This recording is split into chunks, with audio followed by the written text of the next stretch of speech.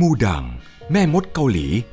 หญิงผู้สวมวิญญาณเทพบรรพบุรุษเพื่อปัดเป่าทุกข์ ฟังเสียงไร่มนเล่าเรื่องชีวิตของพวกเธอ วิญญาณนั้นจะถูกเรียกมายังโลกมนุษย์ก็ต้องมีสื่อกลางนะครับ แล้วก็จะต้องมีพิธีกรรม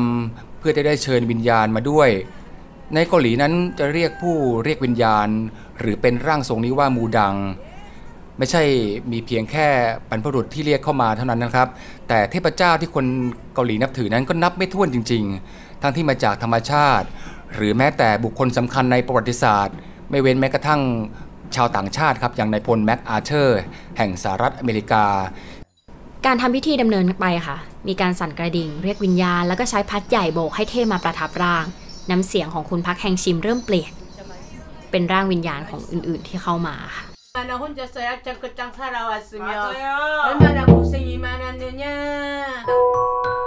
ติดตามฟังสารคดีเล่าเรื่องผ่านเสน่ห์ของเสียง Spirit Along the Way ไทย PBS Podcast